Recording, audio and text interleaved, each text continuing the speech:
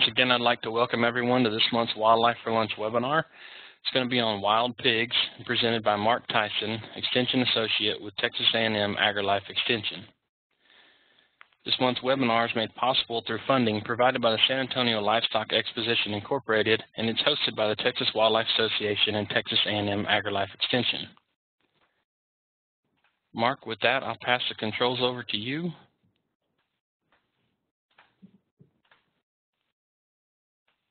And you should be good to go. All right, Clint, uh, thank you for that introduction. Um, so today we're going to be talking about wild pigs, and uh, a, lot of this material uh, will correlate to Texas, um, but on the other hand, there are some uh, generalities that can apply across the entire United States.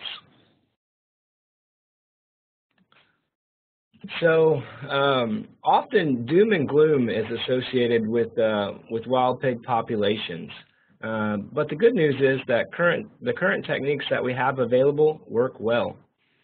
Increasing populations are a result of inadequate harvest, uh, not necessarily inadequate techniques. So the harvest levels need to reach around 66% of the population to begin to hold it steady. With that in mind, landowners are banding together and forming cooperatives.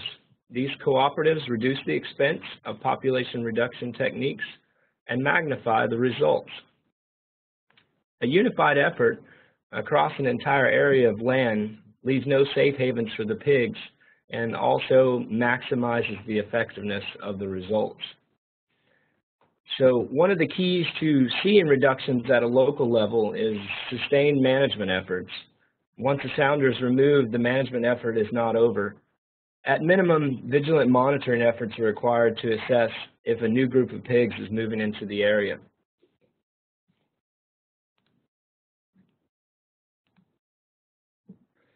So what, what's the big deal with, with wild pigs? Uh, they're, I'd like to start by saying they're an introduced exotic ungulate. So um, they're considered an invasive exotic.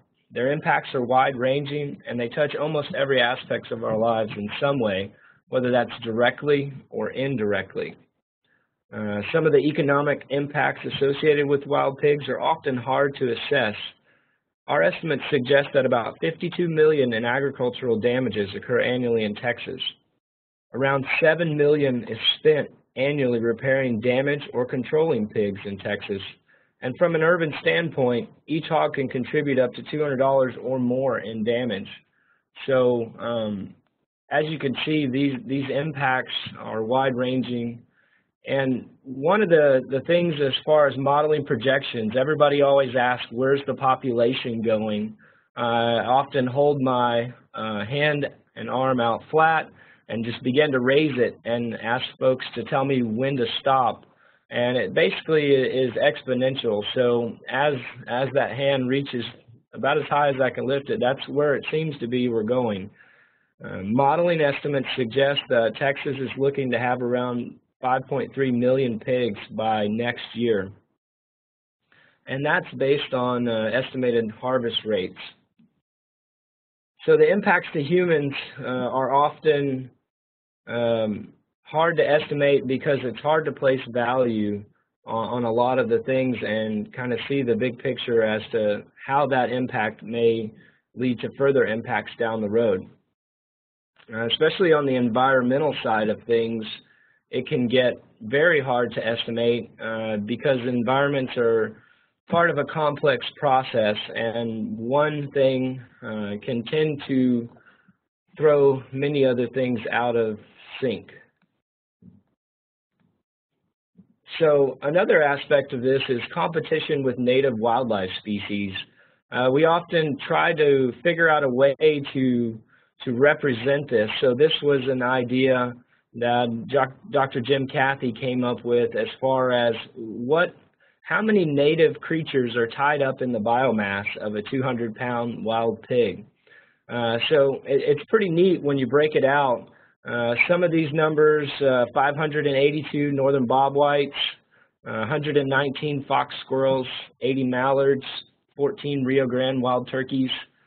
uh, four javelinas, 610 doves. So if, if you look at it like that, uh, these numbers are quite shocking, but the, the, negative impacts to these wildlife species are considerably larger considering the resources that are required to maintain and grow a pig of, of this size here at 200 pounds. So it's just another way to, to represent these impacts, and we're going to uh, talk a little bit more about that as we move into the presentation. So a lot of people often underestimate these pigs and um, and sometimes don't really realize intelligence levels. So I'd like for everyone just to take 20 or 30 seconds and just mentally rank these species in your mind as far as intelligence, one through six. So I'm just going to give a short pause here, I, I just mentally rank them, and then I'll go through the numbers.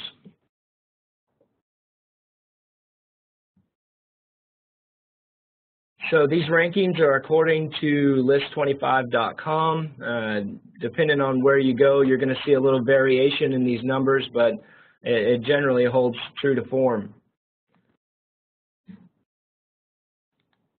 So the chimpanzees are going to rank out at number one. The pigs actually ranked out at number two. The bottlenose dolphins at number three. Um, just to kind of give you an example with these bottlenose dolphins, um, when I was in the Navy, they were training these dolphins to do uh, underwater warfare missions, uh, like attaching mines and things like that. So the intelligence level is pretty high to be able to do something like that, and to have pigs rank on that scale, uh, that's pretty significant. So the the macaws are going to come in, in in four, the orcas in five, and our uh, beloved dogs in six.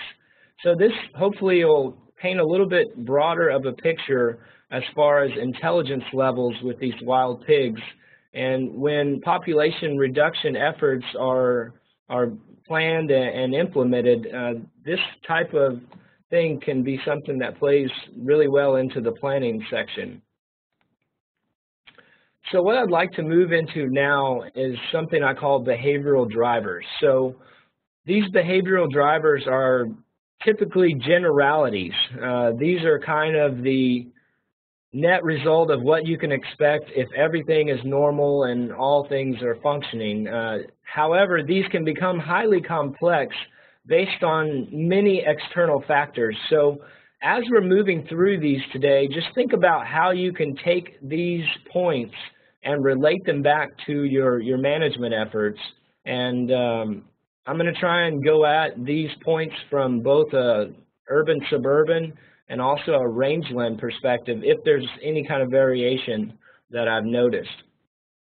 So with these behavioral drivers, these are the, the factors that I feel that regulate a good bit of the pig's behavior and I'd like to share with you how you can, can incorporate these into your planning process to evaluate the, how you want to work at reducing populations. So thermal regulation, in my opinion, is one of the primary behaviors that generally controls how and what these pigs do. Food consumption uh, ranks second, also very important. And in third, I have social organization habitat components, and human influence. Now, I'm sure that you can go and probably list multiple others, but when you sum them all up and you look at them, they all come back to these type of, of scenarios. So I want to kind of walk through each one now with you. So thermoregulation is the uh, act of maintaining their body temperature. So these wild pigs um, have a unique characteristic in that they have no sweat glands. So they're not able to sweat like humans would or pant like dogs would or so forth and so on. So the way they have to regulate their body temperature is through their behaviors. So I have on the graph here the average high temperatures for Houston, Texas across the year. So as you can see, the temperatures increase till about August and begin to fall there in September and work their way down. So in general, behaviors as far as movements and activity is going to be more nocturnal in the months of May through September as that correlates with higher temperatures across the year. Those behaviors can become more crepuscular, which is active in the early morning and late evening, and, and also nocturnal during the months of October through April, during those cooler months. And one study suggested that distance from water uh, basically increases as the temperatures decrease.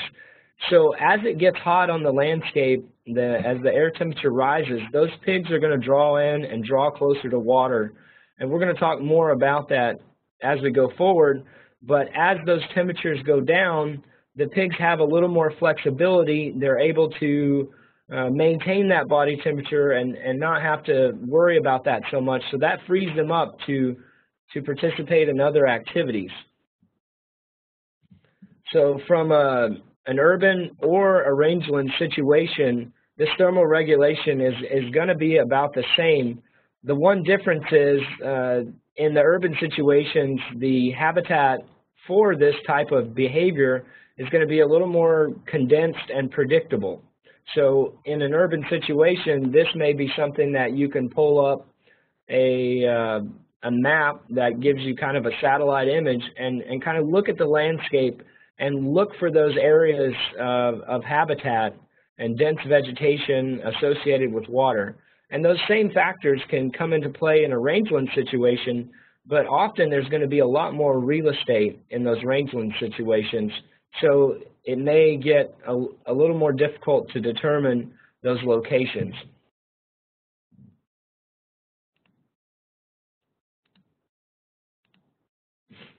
So food consumption. Uh, this is a big one because these pigs have a constant need to feed. Uh, they have a very simple stomach. Um, Dr. Billy Higginbotham says that these pigs will eat anything that contains a calorie, and, and depending on availability, that's definitely the case. They're considered opportunistic omnivores, which basically means whether it's plant material, animal material, whatever it may be, that is available to them as part of their diet. So research suggests that vegetation is a primary diet item for these pigs. Depending on the studies that you look at, vegetation consists between 80 to 95% of their diets. So a big part of that is if, if, you're, if you're focusing on vegetation and you're processing food very quickly, you're going to need to eat more often. And instead of just randomly hoping that you'll find those nutrient-dense resources, you're actually going to seek those out. So when these wild pigs move across the landscape and they, they go about rooting or, or foraging in other ways, they are not randomly just hoping to, to hit the gold mine per se. They're selecting areas that contain these nutrient-dense resources. So it's kind of the the mindset of the more calories you can get with the least amount of effort, the better. So when these pigs are damaging an area, it's important to remember that this isn't a random occurrence. It's a highly specific, almost planned activity as far as for that time of year. Often people notice that they'll have pigs on a seasonal basis on their property and that comes back to several things, but one thing you can relate that to is the availability of those nutrient-dense resources. So basically, these resources come in and out of abundance based on the season. And a, a benefit to this is the greater availability during that season means that they're easier to find. So one good example of that would be uh, acorn mast. So when the acorns come in, the pigs are going to key into that and they're going to begin to feed on those based on the access that they have to those resources. One advantage that these uh, pigs have over some of our native species like deer is the fact that they can not only feed by sight, but they also feed by smell. So as far as the senses rank out on these pigs, their smell is their greatest sense. Uh, it's their strongest sense. That's how they're able to to sense these resources that are underground and root for them and, and find them and be very successful in doing that. Uh, with your common white-tailed deer, they're going to be more of a sight feeder. So these pigs have the opportunity uh, in this example of acorns to compete very well with the deer because they can not only catch those acorns that are visible, they can also smell those acorns that may be under the leaf litter and access those as well.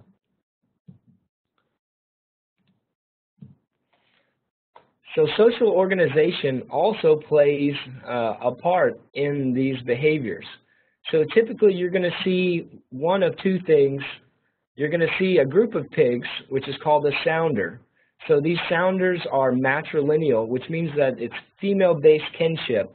So some research studies have suggested that there tends to be a dominant sow or maybe a, a lead individual in these sounders that kind of serves as the sentinel, uh, the wise counselor, the advisor, and this this pig kind of leads everybody and makes sure that everybody's okay and directs them to the food resources and steers them clear of danger. Um, and there's it's there's relation between these sounders often, but that's not always the case. Uh, particularly, it could be that mature female and then subsequent uh, females from prior litters and even potentially their their offspring as well.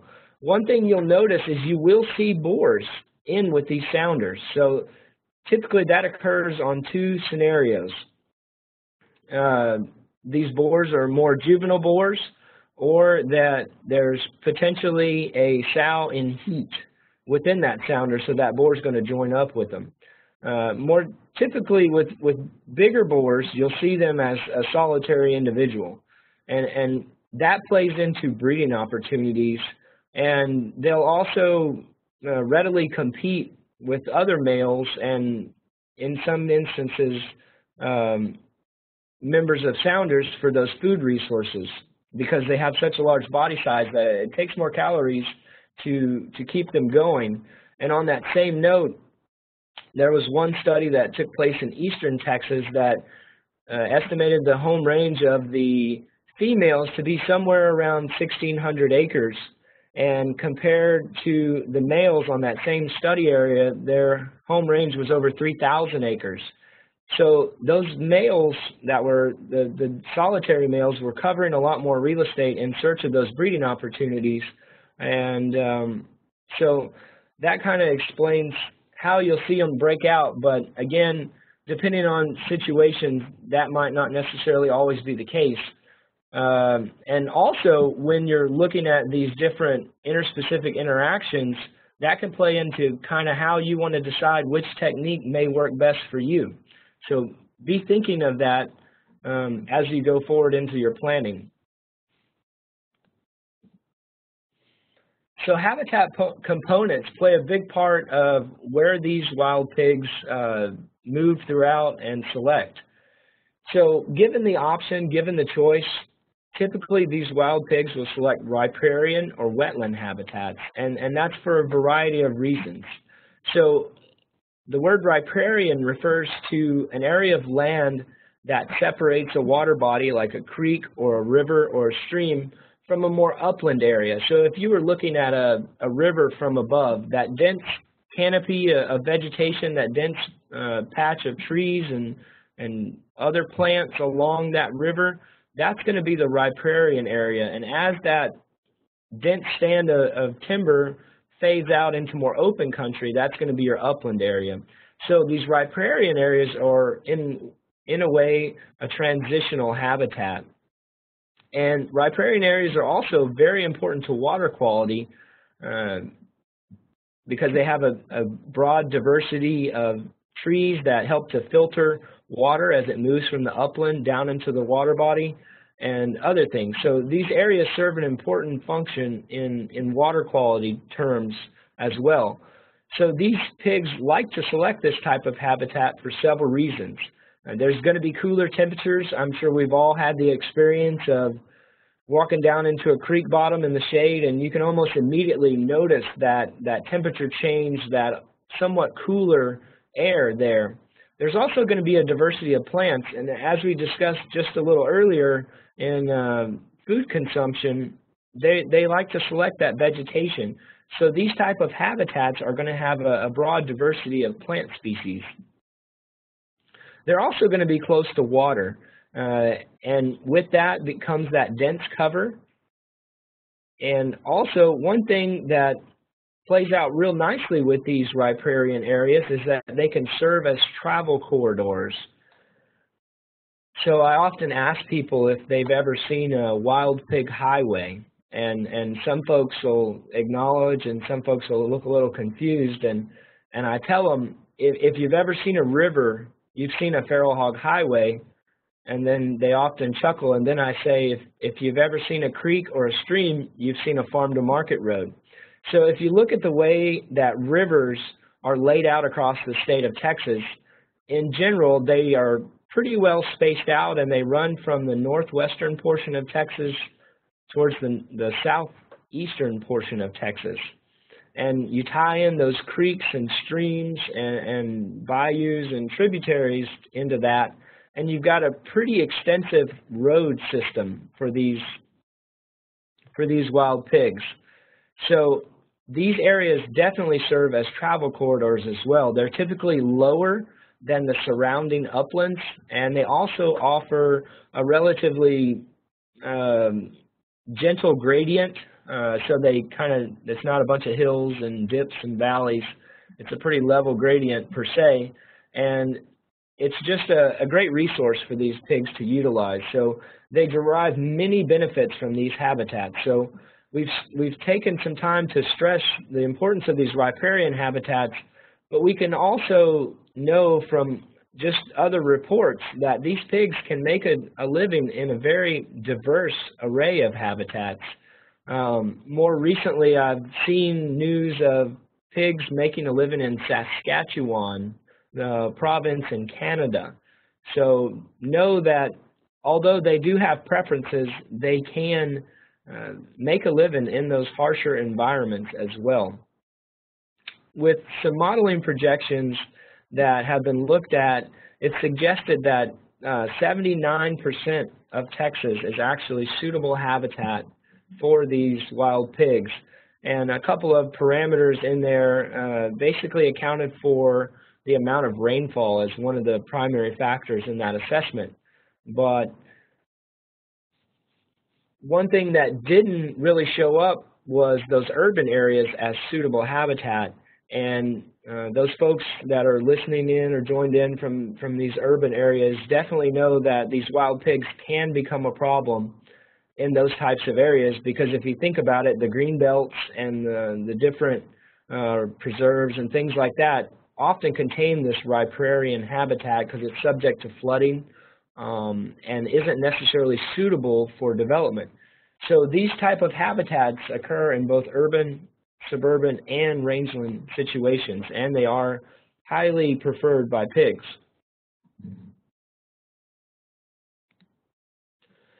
So this is where it gets tricky. This is where all the rules fly by the way. So human influence uh, can definitely change the behaviors of these uh, pigs and totally make everything I've just said null and void in some circumstances due to uh, a change in behavior.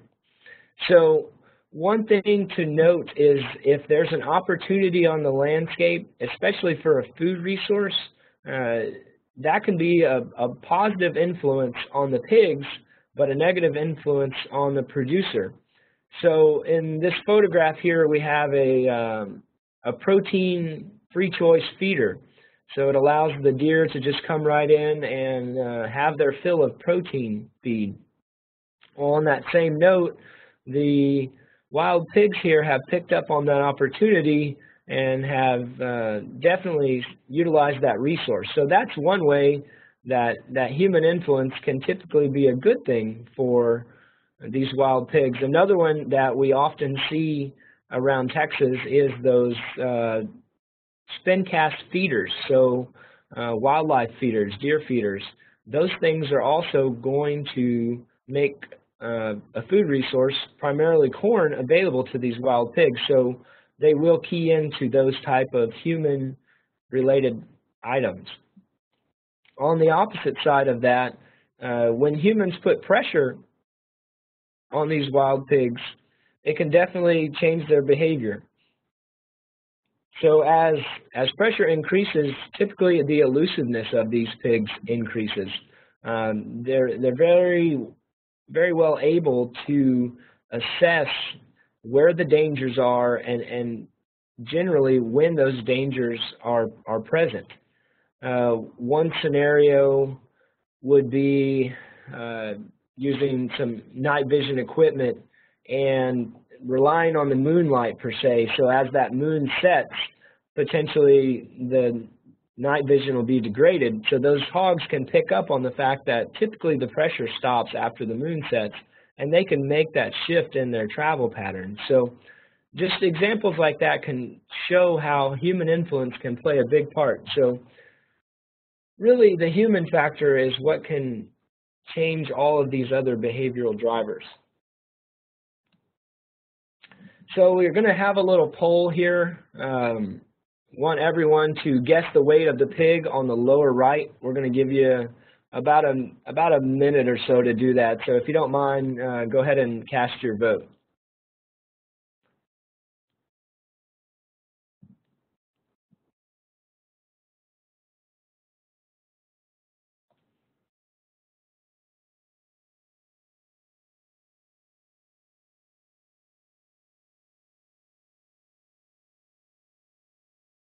And if you've already voted, just be thinking on that pig up on the upper left. Uh, be thinking of your potential estimate there. Uh, we'll allow a little less time for that question.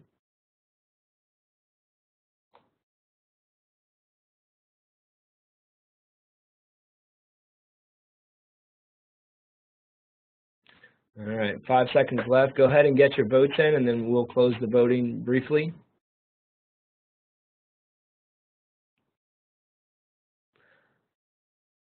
All right, so we're going to close the poll on that lower right pig.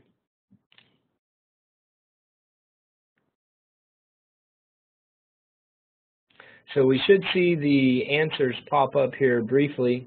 Uh, one thing to keep in mind with these photos, photos are often hard to evaluate as far as the angle, the distance, the height of the picture.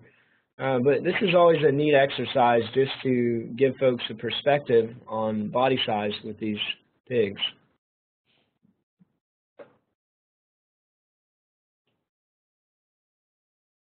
All right, so we have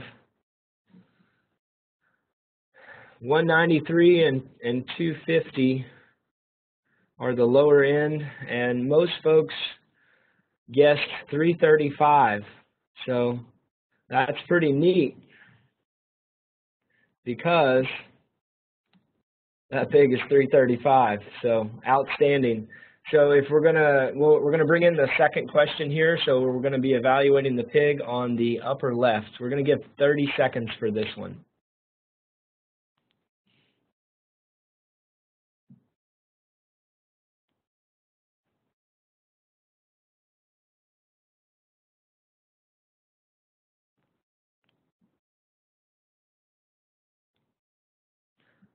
All right, so you've got about five seconds left here. Go ahead and get your votes in. All right, we're going to go ahead and close the voting on that one and wait for the results.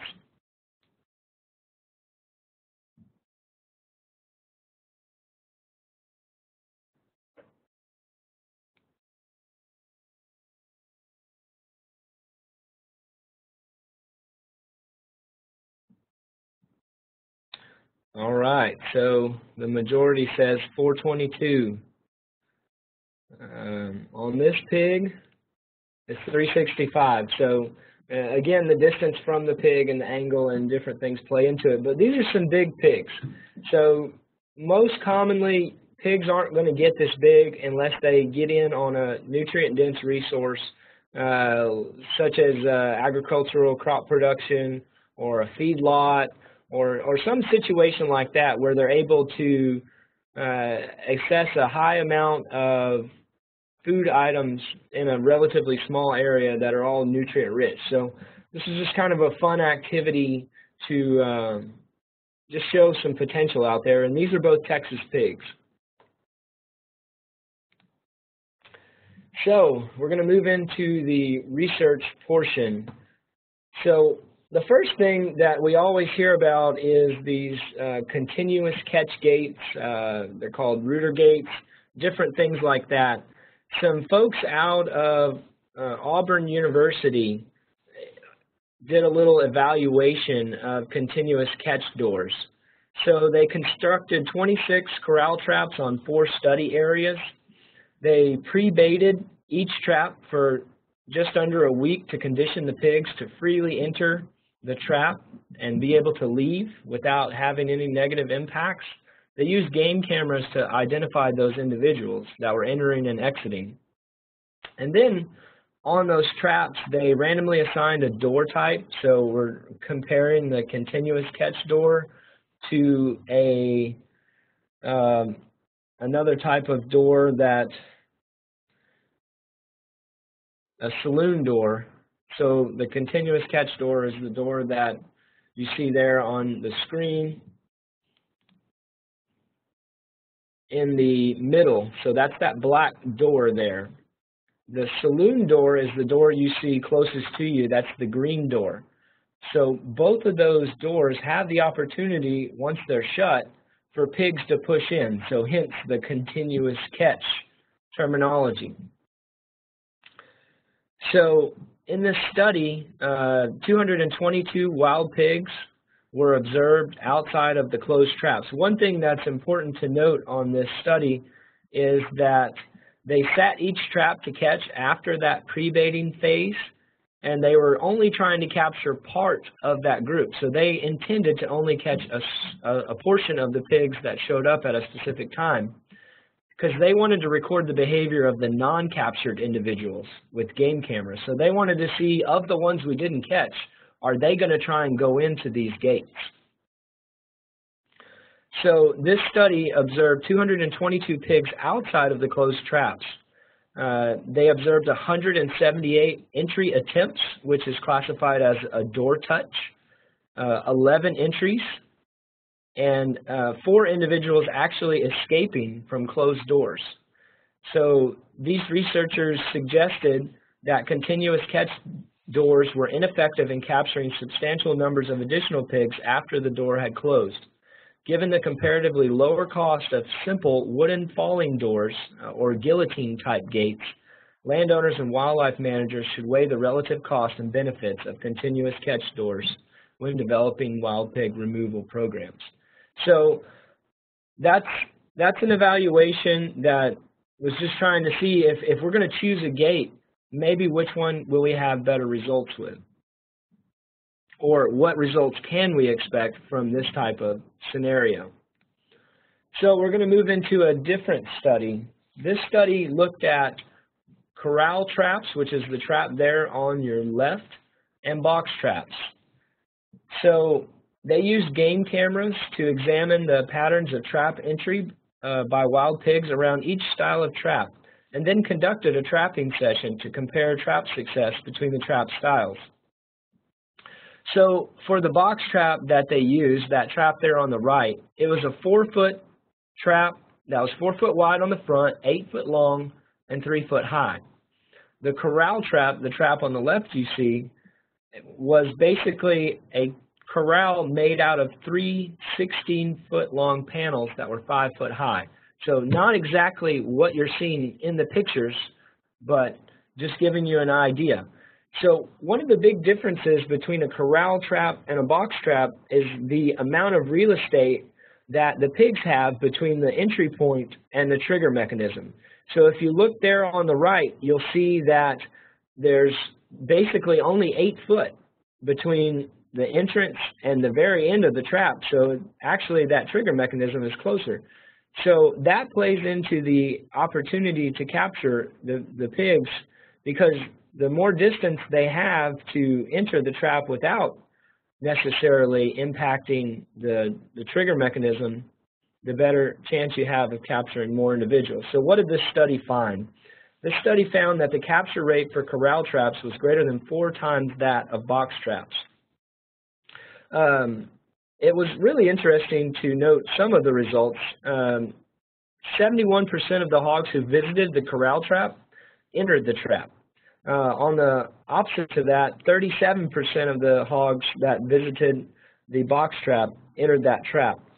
Uh, they also took some efforts to estimate the cost per pig captured. On the corral trap, their estimate was 28.91, and on the box trap, their estimate was 142.12. Uh, a couple of other interesting points from this study is that adult females were twice as likely to enter or re-enter a corral trap compared to the box trap. And adult males had the least amount of trap entries, but they did enter a corral trap more often than they entered a box trap.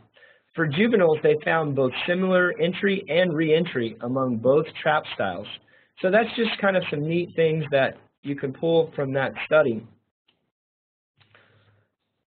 To that note, um, another study was conducted on the different types of uh, gate styles on a box trap. So in this study, it was uh, across six years, uh, took place in 17 different Texas counties with 31 different trapping campaigns. Um, so all trap configurations were identical with the exception of the gate style. So the two different gate styles they had was basically a side swing gate and a rooter gate. So what they found was that um, basically there was no difference in the capture rate between gate styles for adult adults in general, so that's adult males and females, but they found that juvenile capture rates and total capture rates did differ between the rooter gate and the side swing gate. The box traps with the rooter gates captured more juveniles, resulting in more total captures than box traps with the side swing gates. So they suggested for box traps that potentially rooter gates should be considered over side swing gates in management programs aimed in reducing overall damage. So one thing with the box traps that I had mentioned was the whole thing about the amount of real estate that the pigs have before they'll encounter that trigger mechanism.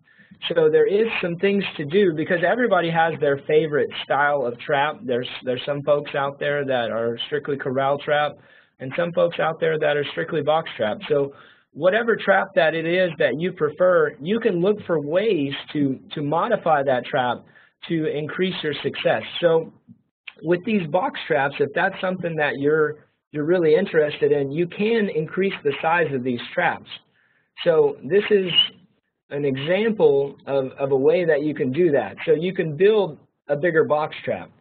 So just wanted to put that one out there that that is an option for folks. So another technique is aerial gunning. So this study was conducted uh, in Texas where they wanted to uh, assess aerial gunning uh, and, the, and the effects of it on feral pig behavior and determine if this aerial gunning altered the home range or the core area uh, or distance between the um, the movements of these pigs. So they found that the home range and the core area did not differ before or after the aerial gunning took place. Uh, however, they did find that the wild pigs moved at a greater rate during the aerial gunning phase uh, than they did before or after. Uh, one, one neat finding from this study was that um, feral swine often moved um, greater than 1.5 kilometers outside of the initial home range, but then they also returned to that home range by around 9.15 p.m. in the evening on the same night that that gunning was performed. So that just kind of shows uh, insight into a little bit of the behavior of pigs uh, in, re in respect to this type of control technique. So behavior around traps. This was a study also conducted um, out of Alabama. So with this one, they basically monitored the the behavior or the interactions that these pigs had with the traps. And there's some neat things that they found in, in this monitoring. Uh, that the solitary boars made fewer visits per trap night than sounders. And likewise, the visit duration for those boars was around 32 minutes versus 69 minutes for the sounder. Um, and here's a, here's a really neat one because there's often question on this topic. So of 131 pigs captured and released, 95, that's about 72.5%, were subsequently recaptured. Uh, you often hear a lot of folks say, you know, you catch a pig and, you know, then you educate them for the rest of their life. Well, in this study, they were actually able to recapture 72% of the pigs that they originally captured. Um, another thing that was interesting from this study is that they observed 12 instances where pigs were captured in traps in which other pigs had been previously euthanized. Um, so data from this study suggests that there's considerable, considerable variation to be expected in pig behavior around traps. Um, so that was just a, uh, an interesting view into some of the things that are going on in the research world and uh, what results they're finding. And as time goes, research continues, so it's always good to keep an eye on, on what's going on and what's coming out in the future. So I wanted to share with you briefly a few novel techniques, um, you know, kind of some neat things to to take away and, and maybe give a give a look at uh, in your management efforts. So this first one is a tire trigger. So often folks have a problem with the folk with the pigs triggering a trap before they're ready. So typically when a sounder comes in on a on a bait site or a trap site, there's there's a age structure correlation with the pigs that interact with the food first. So typically you're going to see those juveniles rush in to the bait and go ahead and try and consume as much as they can before the older pigs come in and shoo them away. And in that rush, sometimes inadvertently that tripwire can be triggered and the trap ends up with juveniles on the inside and adults on the outside. So this is kind of a neat technique to, to bridge that gap. So in your pre-baiting phase, like you'll see there on the upper left of the screen, you're just going to have a tire. And you're going to want to make sure and fill that tire with uh, with corn and, and have that corn in and around that tire. Because what that's going to do is that's going to teach the the bigger pigs that there's there's also food inside that tire. So if the little pigs come up on that, they won't really have too big of a uh, problem with tripping the wire because it's the tire is too heavy for them to move. So it's going to take a bigger pig to move that tire to get that wire to trip. So as you can see in the, the lower left picture, the gentleman is uh, baiting around and inside that tire, and you can see that green line coming up from the tire uh, connecting to another line that's horizontal. So that kind of shows how this tire connects to the tripwire. And then if you look at the picture on your right, it's kind of hard to follow, but you see that same picture from a, from a wider perspective. So you see that tire with the, with the vertical line connected to the horizontal line, which goes right up to about the middle of that sheet of plywood, uh, where it's attached to a, uh, what's called a breaker board, which is a hinged board that will collapse with a sufficient amount of pressure. So this is just a neat way to uh, change up your trigger system in your manually triggered traps. So I just wanted to share that as, as a technique uh, to utilize if you so choose. Another technique that uh, can be useful for you is guided exclusion. So in this instance, uh, you know, you've got this fence line where it's really hard to determine where the, the wild pigs are going to cross, uh, and that makes it harder to in, to enact some of these uh, population reduction techniques. So what you can actually do is guide these pigs where you want them to go. Uh, and you do that by uh, placing barricades, as you can see here, uh, very creative use of materials on hand uh, to block those areas where the pigs are, are traveling and guide them to maybe another area where you would like them to travel. So this can be uh, useful in a lot of situations. Um, just use use these kind of things as ways to direct those pigs where you want them to go and have them interact with your your method of choice much easier than having to take a guess at it. So everybody likes to work while they sleep, uh, and this is a way to do it. So there's a wide variety of cameras on the market that have all kinds of neat features. Um, the features here I'd like to highlight are a couple things. So you have your standard camera uh, that's basically infrared triggered. They uh, can capture photographs and video and so forth. So those that's going to be kind of your, your standard game camera that you're going to see uh, pretty much at any retail outlet.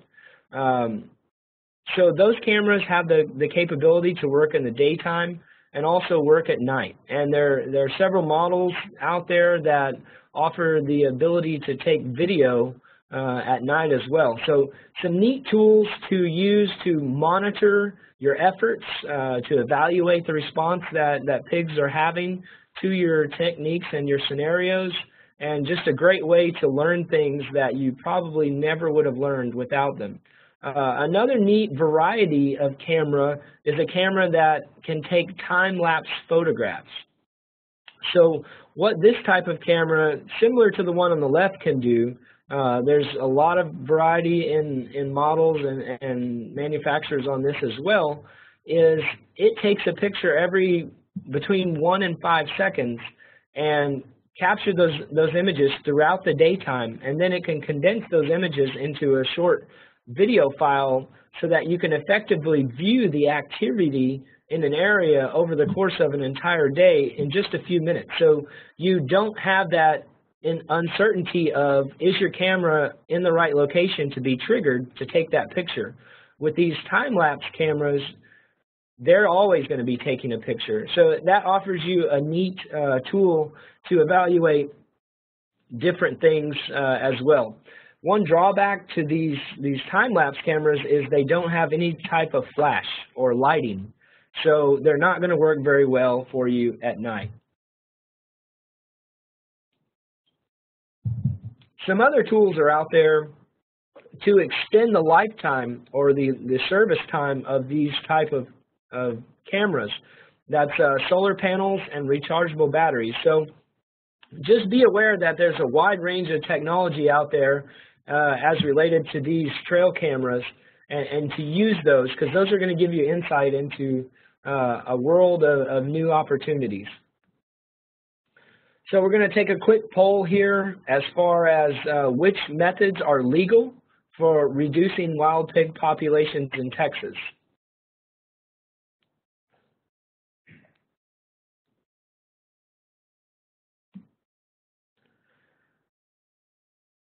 So these are going to be the techniques that are available to land managers across the state. We're going to give about uh, 15 or 20 seconds to answer this.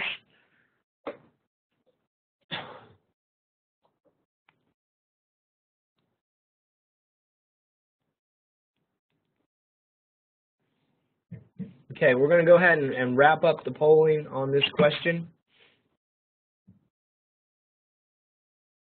So so while the, um, the summary is coming up, it's uh, it's important to um, to utilize uh, each technique that's available. Uh, there's everyone's going to be a proponent maybe of one technique over the other, and there are techniques that are more effective than others. So uh, we had a pretty equal amount on anything goes and both A and B.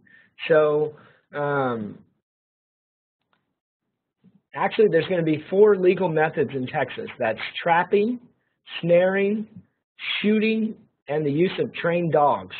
So those are the, the techniques that are available. Uh, it's important to note that any kind of poison or toxicant or anything of that matter is, is not legal to use. uh, and it often has broader implications than, than the pigs that are targeted. Um, so these are the options that are available to land managers in Texas, uh, and there's a, a, wide variety of resources available uh, on each of these options if that's something you're interested in learning more about. So often people want to know which technique works best. I'm going to tell you that trapping can be a highly effective technique, but ultimately you're going to have to apply a strategic combination of all of these legal methods based on the interactions that you're having with the pigs on your property. So know these are available, know that there's that there's resources out there to help you understand how to utilize these techniques. And we'll talk more about those resources here in a, a minute or two. So let's tie this all together. Uh, so we've talked enough about wild pigs. Let's talk about fish and fishing for a little bit. So if you've ever fished at a place that you weren't necessarily that familiar with and uh, didn't really know how to read the local conditions and, and what, what the fish were liking for that time of year and so forth and so on, you may result in a capture uh, or a catch as you see there on the left. That's a, definitely a wall hanger. Uh, so you can apply that same type of terminology or, or thought process to feral hog uh, population reduction efforts. You know, you, you got to be able to, to know your homework, to, to know what to look for, to understand the habitat, to read how the pigs are using it, and, and you can use that information that we shared earlier in this presentation to kind of, as a checklist, to go through and evaluate things. So bringing this, this trophy fish down here back into the world of wild pigs, this is a scenario that can happen. So at this site, this is a, a pre-baiting phase, and the, the homework didn't necessarily go as, as it should have. So this area was selected uh, based on a few characteristics and a lot of assumptions. And over a period of a week, uh, the response was from one lone boar. So as we know, those boars are going to travel larger distances, so that can play into that. But in the end, it only resulted in, in one photo, uh, one pig visiting the site. So in the end, this, this effort was a net failure. So we're going to move over to the right. Uh, so in a situation where you're familiar with the habitat, familiar with the environment, familiar with the way that the, the species utilizes the resource, you can increase your success and increase your effectiveness, uh, as with these catfish. In the same way, you can do this with wild pigs. So this is within the same area of land after a little bit better assessment of the habitat and the, the signs that the pigs left behind, and so forth. So at this point in this picture, these pigs are responding to the bait that's being provided, and they're being conditioned to this site to be prepared for the efforts to that to come as far as population reduction. So to kind of tie it all together is use all of the resources available to you, use those folks that are familiar with the landscape, um, educate yourself on the pig behaviors, how they use the landscape, what types of things that are going to be driving their behaviors, and this can be your result. So a quick note on transporting wild pigs, that's often a common question. This is regulated by the Texas Animal Health Commission. And the Texas Animal Health Commission regulations apply only when live pigs are moved from the location of capture. Uh, so you want to make sure you're up to date on these laws and regulations. You can go online and search for the abbreviation TAHC, and then you can put the word feral hog behind that, and that'll bring you to the website where they have information. They've even got a little pamphlet that clearly explains those regulations as they apply to moving these wild pigs. Uh, with that in mind, we've developed a website to assist uh, landowners and members of the public in reporting uh, these wild pig sightings. That's feralhogreports.tamu.edu. Gives you the opportunity to go on and report a sighting and allows us to assess it and um, kind of get some data, look at trends over time and so forth. There really is no way to, to survey um, these hogs, so this is kind of a, an attempt on looking at uh, observations across the state. So we have some additional resources available. Uh, our main website is feralhogs.tamu.edu. That's going to contain all of our publications, our videos, links to our social media. Um, that's kind of the place to stop for the information that we have available. Uh, for those that are more specifically interested in the uh, impacts on water quality by these wild pigs, there's this website here, and they have what's called the Lone Star Healthy Streams Feral Hog Manual. Uh, really great resource uh, for that. Uh, on our YouTube channel, we have currently 20 videos relating to feral hogs and wild pigs and their management. Uh, here you see a kind of a assortment of our top 10 videos as far as views. And a new series that we recently began is the Wild Pig Minute. So that's a, a, series that is a short one to three minute video that covers some kind of aspect of feral hog biology or uh, behavior and so forth. So really neat resources for you there. Uh, for more of a nationwide perspective on these wild pigs, there's the Feral Hog Community of Practice. That's at the website uh, listed. Uh, it contains 54 articles, an option for you to ask an expert. So if you've ever had a question you've just been dying to know uh, but don't want to ask, this gives you a way to anonymously ask a question and get a response from someone that's locally in your area. And this is available to folks across the United States. Uh, it also contains videos, frequently asked questions, and uh, four webinars similar to the one you're with today uh, by other individuals across the U.S. that uh, work in feral hogs and, and their management. So neat resource for you to get um, a nationwide perspective on the, the wild pigs here. Uh, if you're into social media, we have a couple of Facebook pages, the Feral Hog COP, and also our unit has the WFSC Extension Facebook page, so check those out. We have an online magazine, uh, it's Wild Wanderings. Uh, this is a really neat deal because it's kind of an informal uh, way for me to go out and, and, and share things as I, as I witness and observe things. So it's a really neat deal, and it's not necessarily all wild pigs. It's uh, land management, um, all kinds of other things, quail management, lots of neat resources available on this website as well. Uh, we recently released a new app, uh, Feral Hog Management, so it takes everything you would find uh, throughout all of our other resources and condense it into an app so that you can take it with you wherever you go. Um, so as far as from my end, how can we help you? Uh, we're available for educational presentations. Uh, we'd be happy to provide you with some educational resources and also uh, uh work in collaboration with our county extension agents across the state to uh, conduct some site visits if you have uh, those type of needs. So with that, uh, everything we do is provided free of charge through a grant that was Clean Water Act non-point source grant from the Texas State Soil and Water Conservation Board and the U.S. EPA. Uh, with that, this is my contact information, and I know we're right at 1 o'clock.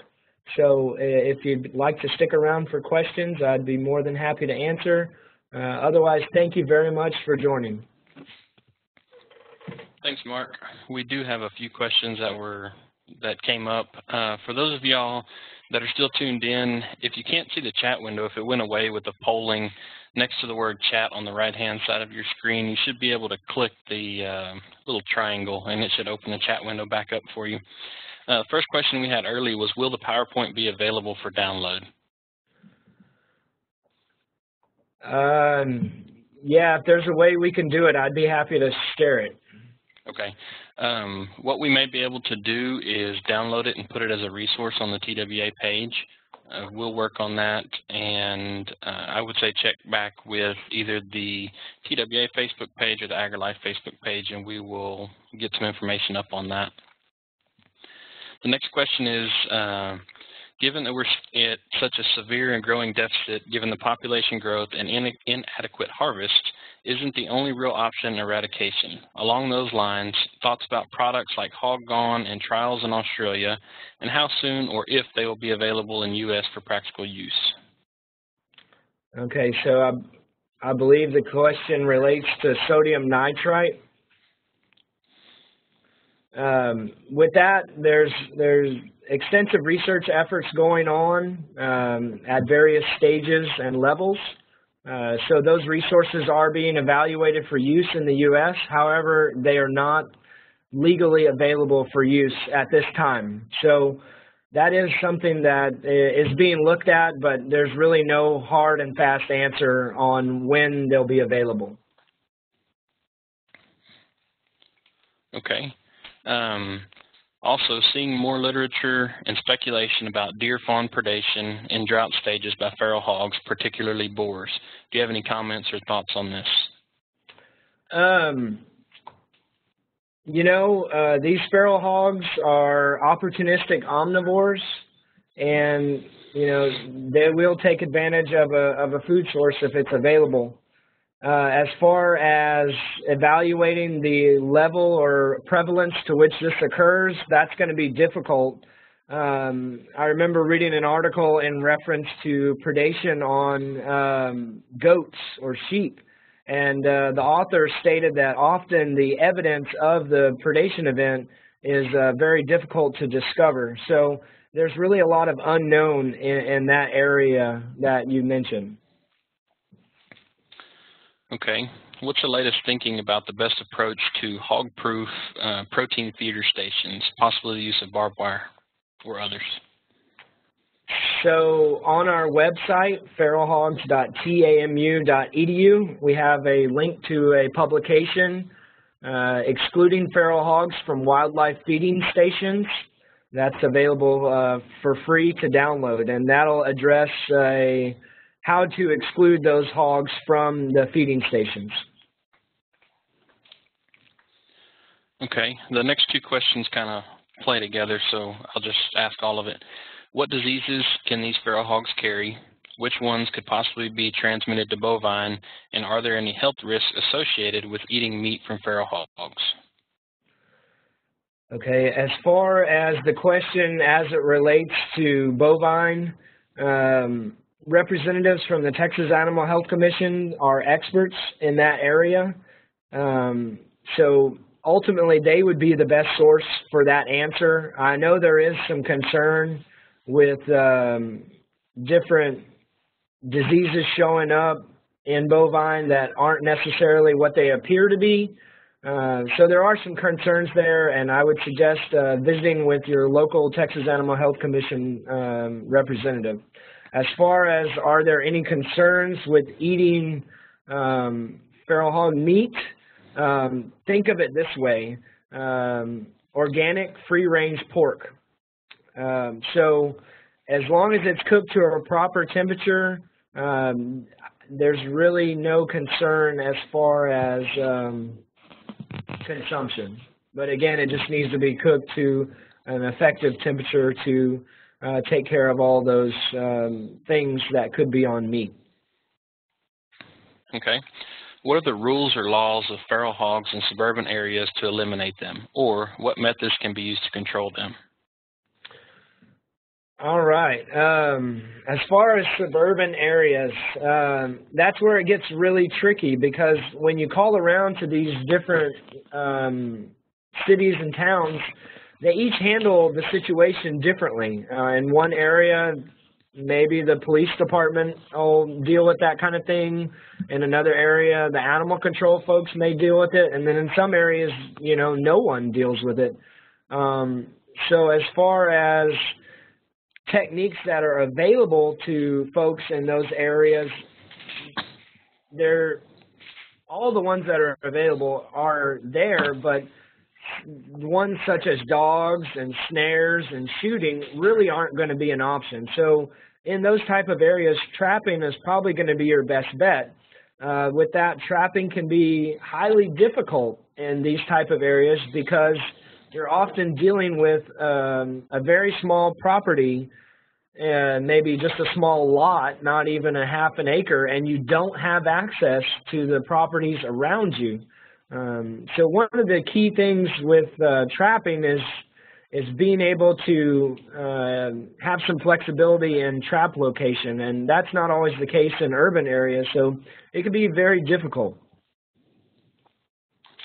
Okay, speaking of trapping, uh, this gentleman says, I've heard that soaking corn in diesel fuel will prevent deer from eating corn set out as bait in hog traps. Do you have any comments on this or other ways to keep deer from entering the hog traps? Uh, I would suggest uh, not to do the diesel side of it because there can be some environmental impacts with that. Um, the same result can be uh, obtained through souring the corn uh, in some yeast, uh, just putting it in water and letting it get some yeast in there and setting it out in the sun for a week or so. Uh, that'll produce that that same um, kind of deterrent. Uh, with that being said, if the food resources are slim and the deer want to access that, they will consume it. Um, so dealing with deer in baiting situations can be very difficult. Um, and also with your trapping efforts, you, you need to be aware of, of deer because deer can get captured in a box trap and, and that could be a, a big problem.